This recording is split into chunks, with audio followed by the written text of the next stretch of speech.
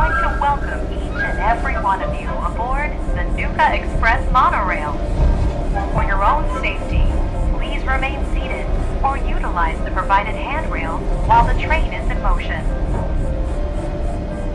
If you'll direct your attention to the right side of the monorail, you can observe Nuka World's famous Bib Top Mountain. Hi there, my name is Michael, and uh, Fallout 4. This is one of the most divisive games in the Fallout franchise. There have been ones that people absolutely love, like Fallout New Vegas, blessed be its name. And there are ones that people absolutely hate, like Brotherhood of Steel, and that other one where you could play as a ghoul but not much else. That kind of destroyed the franchise in the early 2000s before it was resurrected. But Fallout 4 had unprecedented commercial success. People loved this game. They wanted nothing more than to play Fallout 4 at one point. It was the biggest thing for a few months right after it came out in 2015.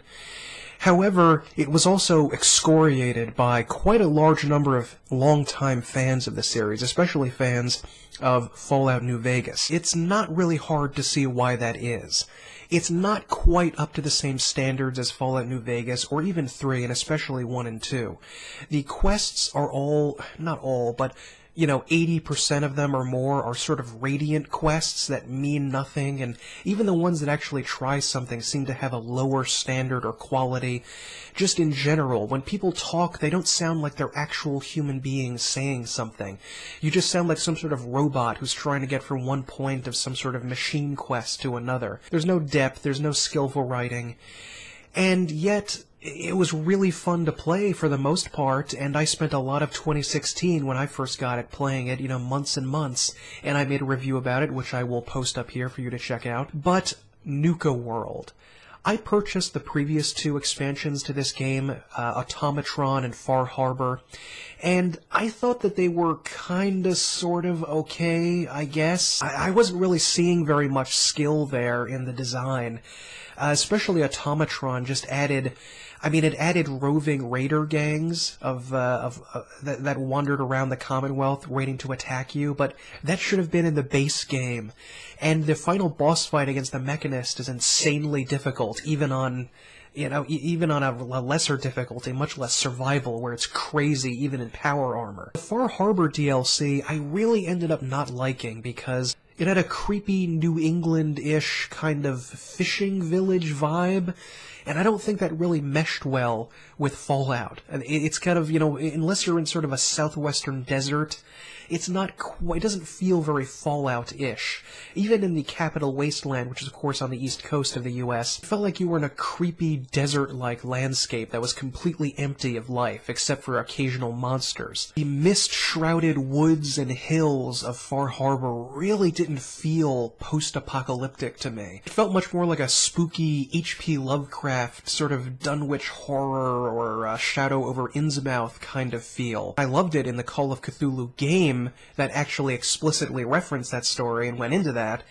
but it doesn't really work with Fallout. You know, after being burned twice, I didn't go back for Nuka World. I had sort of become sick of the game at the time. I'd been playing it for probably six months or so, and I just wanted to stop. I just kind of did my review of it and, and let the game go. And I, I stayed away from it for, you know, roughly a year or so until very recently when I got the Nuka World DLC, and I thought it was amazing. The Nuka World DLC in some ways redeems a heck of a lot of Fallout 4 in my eyes. The game takes place in a separate area of the map like Far Harbor that you have to travel to from the Commonwealth, and when you get there, just right from the beginning, the atmosphere is incredible. This creepy, deserted parking lot right outside of Nuka World just looks beautiful. The decaying remains of the old world, and especially a kind of symbolism of the old consumerism that symbolized a lot of America, especially in the the chirpy 1950s. That's really where the heart and soul of the atmosphere of the Fallout games are. And if you actually go outside and wander around Nuka World, it looks like it's set in an actual wasteland. Most of the area in Fallout 4, it just looks too generic. It looks like it's a grassy field or a, a northeastern American forest. It doesn't look like a horrible, nightmarish desert. You know, the trees don't look as bright as they would, but it doesn't feel enough of a wasteland. I said in my review, it, it just looks like winter time.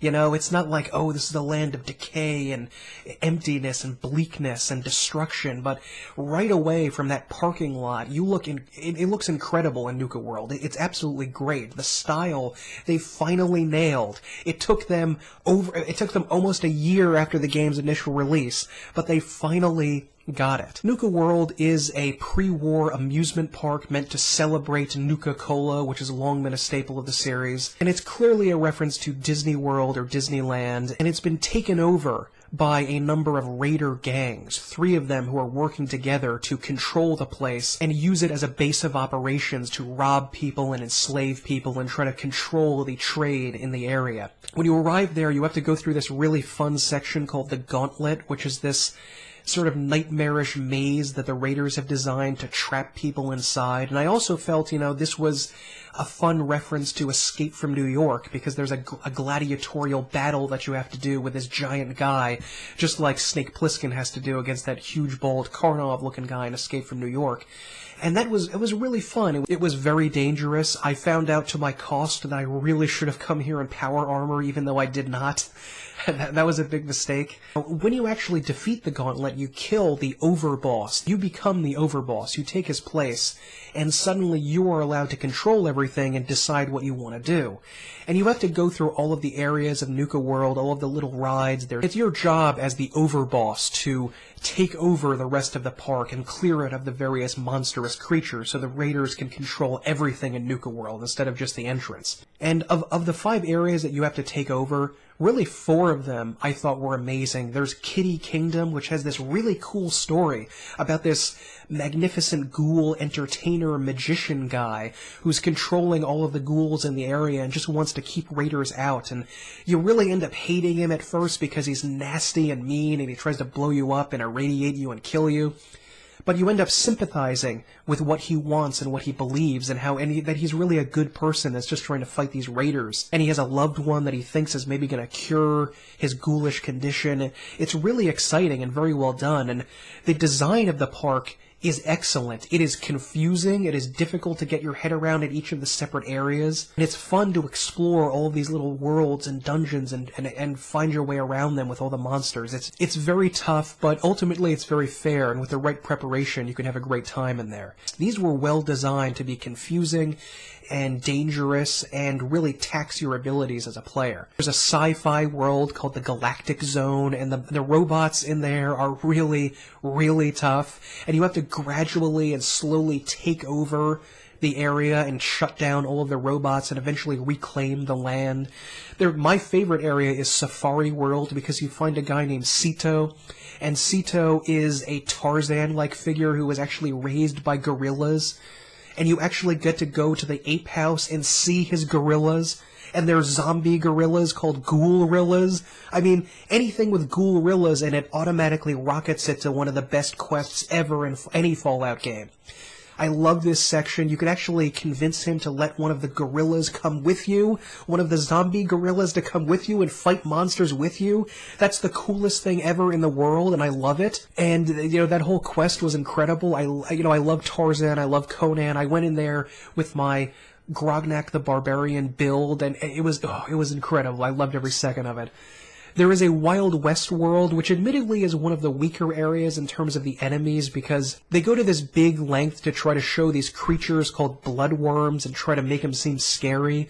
But you can't do that game. You can't uh, you realize that you have a crummy, bad enemy, which they are. They're really simple and easy to kill. They're super squishy, they have no damage resistance, and you can take them out really fast. And yet they try to build them up as being these terrifying monstrosities. There's a lot of references to Tremors, cult classic 1989 Kevin Bacon horror movie with the graboids. However, they should have been like graboids and giant monsters, not these tiny little scrawny worm things. Maybe the only area I didn't like that much is the bottling plant where you fight a ton of Mirelurks, one of my least favorite enemies, including a giant Mirelurk queen, and it's just not a very exciting looking world. Yeah, I-, I wasn't crazy about that, but 4 out of 5 ain't bad, including one of my favorite ones ever with Cito and the gorillas. That was incredible. Uh, you also get to gradually learn about all of the different raider gangs that are there. There's the pack that are like animalistic wild men. There's the operators who are a little like Benny from uh, Fallout New Vegas, and that they're sort of a bit effete and uh, they care about their appearance and money more than violence. And then there are the disciples who are total psychopaths, who are really just into the raiding to be murderers. And you eventually have to assign the gangs separate areas of the map, which is a lot of fun, and figuring out which ones you like and which ones you don't like, and which ones you want to give stuff to. The gangs are all well designed and they look cool and they put a lot of thought into them and I, I really, really liked it. And everything about this just felt like Fallout. It felt like, you know, wandering through the ruins of a, you know, an alternate world Disneyland. This is what Fallout is about. You can get the creepy sensation of the pre-war, almost manic happiness of the 1950s with all of the lurking dread of nuclear annihilation and the creepy darkness of what the government is doing. A really fun quest involving the founder of Nuka-Cola, uh, John Bradberton, I think his name was, and there's a wonderful reference to a sleazy 1950s horror movie called The Brain That Wouldn't Die, and I loved how they slipped that in there. That was really nice.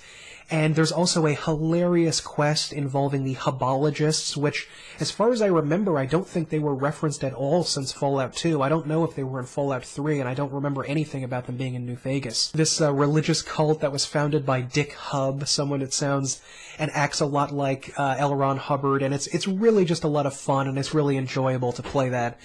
Um, you know, I think they should have done more with the Hubologists. They were hilarious. And there's also a haunted house ride, which is actually genuinely kind of scary because it, the, the game implies that it's actually haunted at one point. And the world of Nuka World is, it's much bigger than the actual attractions. There are a lot more areas to explore. There's a large map around it. There are some new monsters and enemies, but for the most part, they're, you know, a couple of insect creatures. They're these the painfully unfair and ridiculous flying ant swarms, which are not quite Cazadors, but they're definitely on the way towards being as annoying and horrible as Cazadors. They are really, really obnoxious enemies that I can't stand. Eventually, you know from the beginning that you're going to have to take over Nuka World and get it up and running again, and after a while, when you take over all of the parks, you will eventually be able to send people out into the world and go out and help the raiders attack settlements, which is another thing that really feels like it should have been in the base game. This was a hefty criticism that people leveled against the original game, and they were right to do so, because that should have been in the original freaking game. It's so fun to be the bad guy. You know, you're kind of locked into being a good guy during the game. You can't be evil very often, not successfully anyway. Even right, right from the beginning, they kind of force you to be a part of the Minutemen and make, you know, they don't even give you the experience points from the first quest, I don't think, until you agree to be the leader of the Minutemen. It's just sort of left hanging there, and you can come back and get the experience. You know, they kind of forcing you to do that. And the fact that you can be an evil raider and eventually kill Preston Garvey and the stupid Minutemen that have been forcing you to do all these awful Radiant quests, that's so satisfying. It also feels a lot better and a lot more meaningful to do these quests to take over the different towns than being one of the Minutemen where you're just sort of like the, the helper boy. And eventually towards the end of Nuka World, you get to a point where the raiders want to uh, restart the power station that's been running Nuka World and get all of the rides and the lights back on. And when you do that and defeat one of the raider gangs that, that's there, and you don't have to side with the raiders, you can just kill all the raiders and do things yourself if you want. But uh, usually I just let follow the raiders, and one of the raider gangs takes over the power plant, you kill them, and eventually restart the entire park. Oh my god, is that enjoyable! That is so much fun. I love doing that. And when the park is up and running and everything is the lights are on and you can see the rides moving. It's amazing. I, I also just love the layout of Nuka World a lot better than Far Harbor because that one was, first of all, it was filled with water, which meant you either had to have the Aqua Boy perk or you just couldn't go where the water was or pile on Rad-X, which wasn't fun in, in survival mode or you couldn't take, and, and even if you did have all those things, you couldn't take power armor there, which wasn't fun. This Far Harbor was also very much a mountainous map. It was hard to traverse from one side to the other, and because it was covered in fog, I could barely see anything, and it was hard to get from one point to the other in the map. I didn't like that. But in Nuka World, it is beautiful. It's nice and flat, it's not that big that it's overwhelming, and it's fairly easy to traverse, at least when, when in terms of spatial orientation from one area to the other. And once you get into those areas, they can be very confusing and difficult and vertical, and uh, you have to find your way around. But didn't uh, overwhelm me like uh, Far Harbor did, where I never really was able to orient myself and know exactly where I was with each area.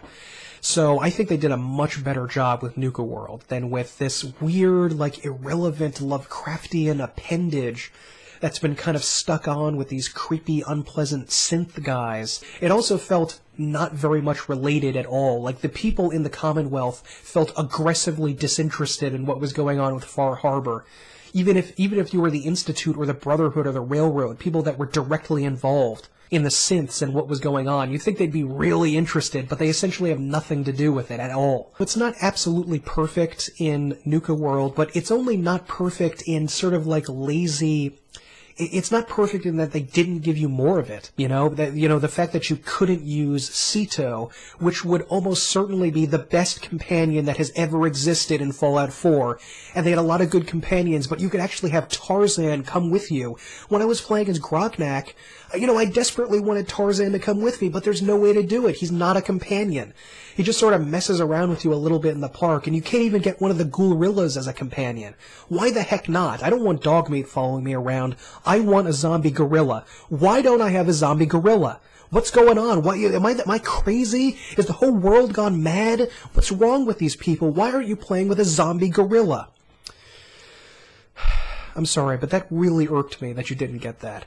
And maybe I would want the park to be, I mean, you know, I would just want it to be bigger, have more stuff there. Maybe the bloodworms be a little bit more interesting.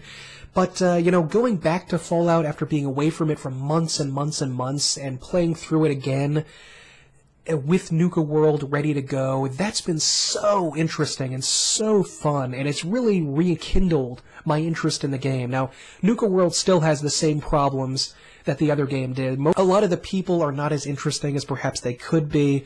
They don't necessarily have the panache. You know, the leader of the operators is this tough woman gangster, and you kind of get the feeling that she's a little bit trying to be one of the Van Graffs because she has a brother there that also helps her, just like the Van Graffs, but they don't quite have the charisma that the Van Graffs, I think, did. And unfortunately, the ridiculous Radiant Quest nonsense pops back up you know, you're not doing set quests for these people. I mean, who Uh, can we just agree with that right now? Can we get as many voices as, as possibly can? As my voice, everyone's voice to just come out and say this, so it's just this overwhelming din that, that Bethesda cannot ignore.